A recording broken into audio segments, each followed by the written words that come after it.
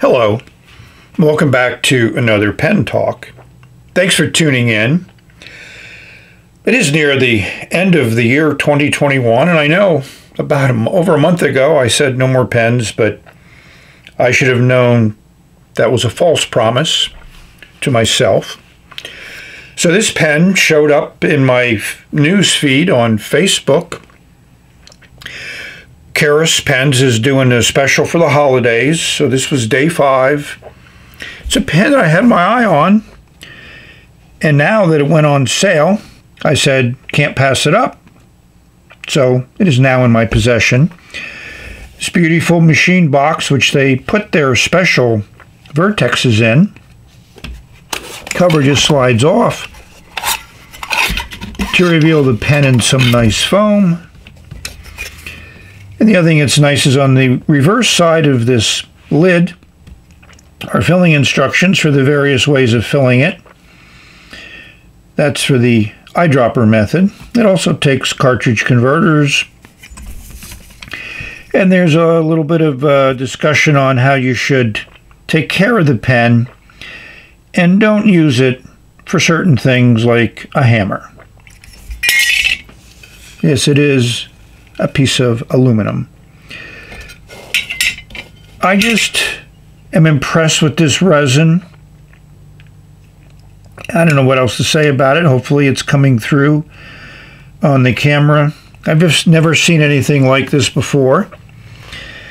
So if anybody knows of anything that looks like this, let me know in the comments. Here's a description on Karas's website. Nice pop-off cap.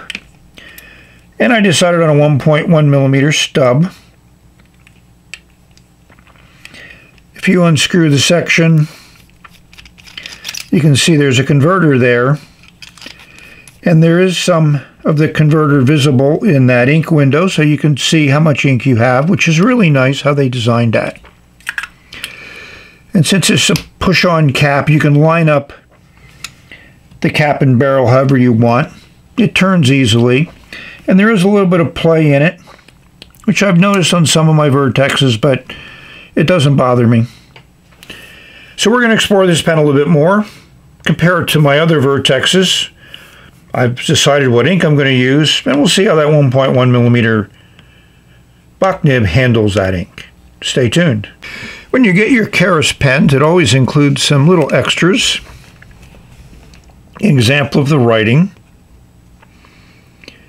interesting phrase. A sticker,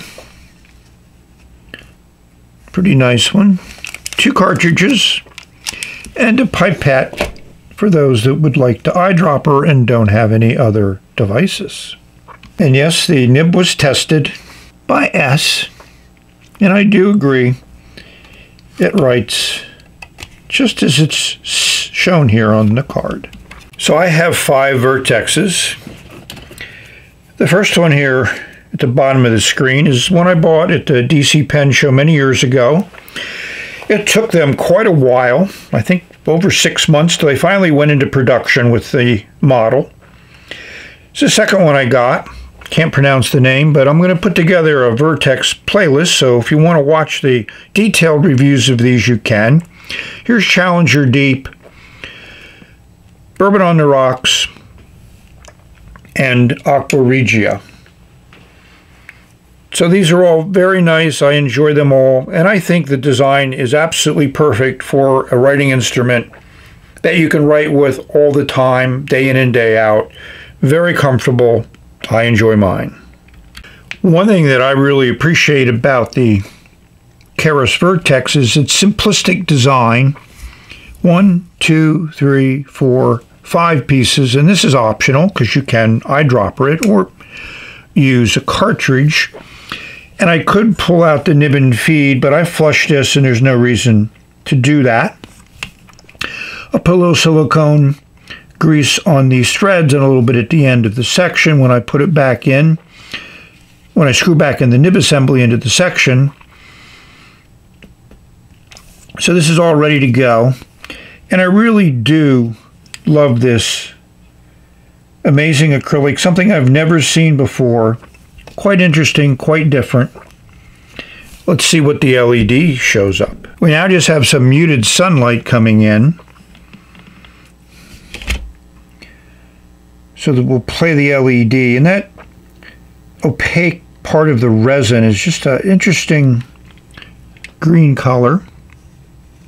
If we go inside, we'll see a little bit of translucency in those pearlescent sections. I'm just impressed with, again, a unique resin. Their machining, fit, and finish is always exemplary. So I think it's time to put an ink in here. I do have two 1.1 millimeter Karas nibs. They're Bock nibs that Karas puts their custom laser engraving on. This was the first one I got last year, and they are a little bit off on their laser engraving. As you can see, the one that I just got lines up well. Both of these nibs are very well done. My expectation is, is I will grind one of these down to maybe a 0.7, maybe put a little bit of an angle on it. I think it's a good nib to do that with.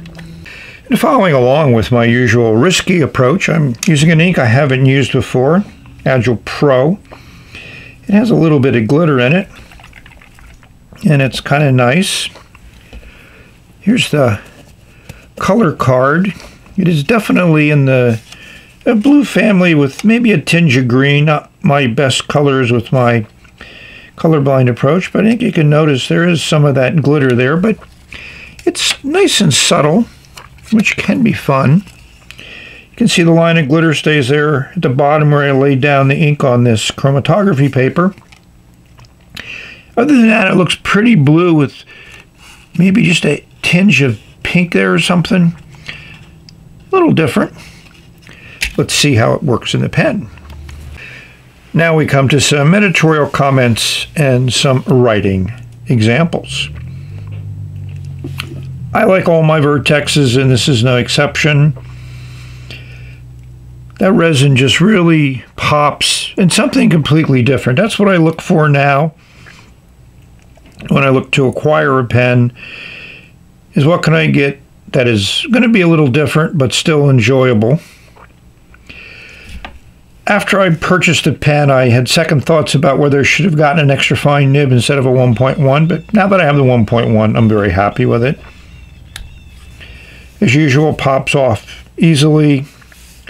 It posts well, posts deep, and really looks good posted. You can line up that interesting pearlescence that's in there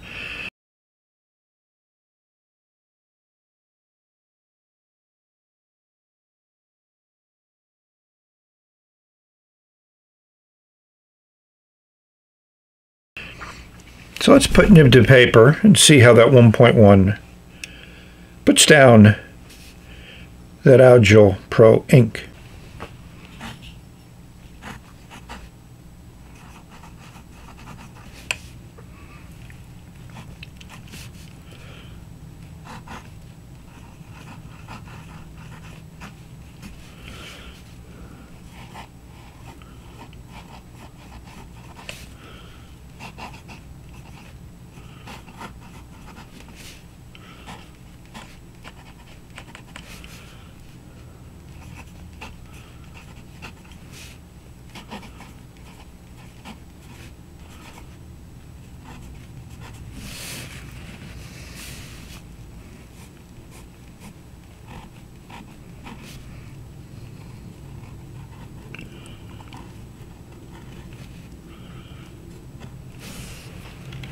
I've written a lot with this pen, so it was running low on ink. I apologize about that, but shows you what'll happen if you let the pen run low on ink. Now that I've re-inked it, it's working very well, which is what it had done while it was full of ink. And speaking of ink, I love this Aqua Agile Pro ink has just a little bit of glitter in it. Very interesting, bluish color. The touch of green, kind of in the teal family. So let's rate this pen. And I'm going to give it a 9.8. I toyed with giving it a 10, but it just falls a little short of a 10. I like it, but the, that cap being a little loose, I think, is something they could re engineer and tighten up the tolerances on. That's really about it, you know. And you get Bock nibs, so they're standard number sixes. You can swap them with whatever number six you want. Kaigelu long blade. So we've reached the end of this review. I don't know what else is going to follow in 2021, but Stay tuned and find out. Thank you all for watching. I love the way this puts a little bit of character into your line without having to worry about pressure. Just as you change the angle when you write. Hope this video finds all of you safe, healthy, and happy, enjoying your pens, enjoying putting ink on paper, enjoying sharing your thoughts, that's what makes life fun for many of us. We reached the end of this video. And we're going to say bye. Stay tuned. More to come.